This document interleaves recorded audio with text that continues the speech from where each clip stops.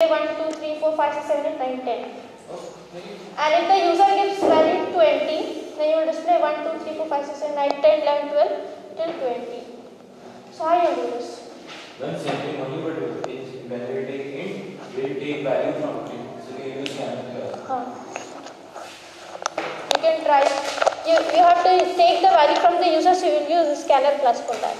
So you are going to give a message to the user, how many natural numbers you want, and then the user will give the value, the 10, then 10 natural numbers you display. If the user gives 100, to 100 you will display. So how you will do that?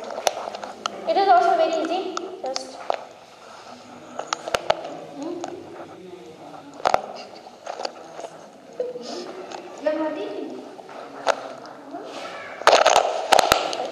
class.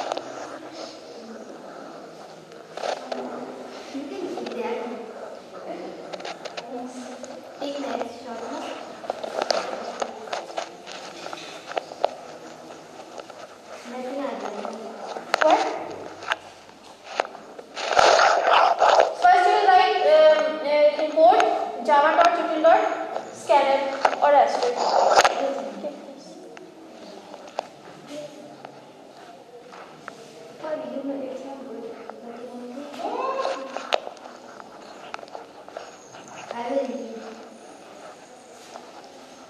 Java import java.util.asterisk. Then you will write class name, class check or class natural number, anything you can write. And then you will start.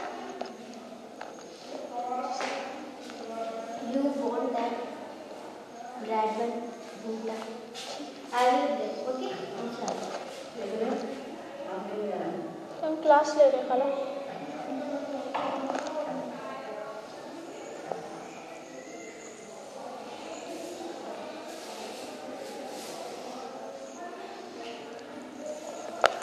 Sure, I will do.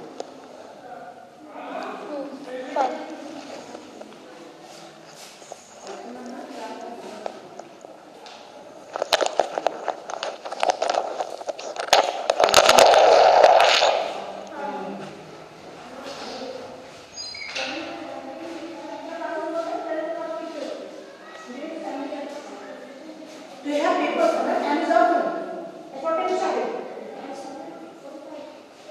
Why you started 45? Why you started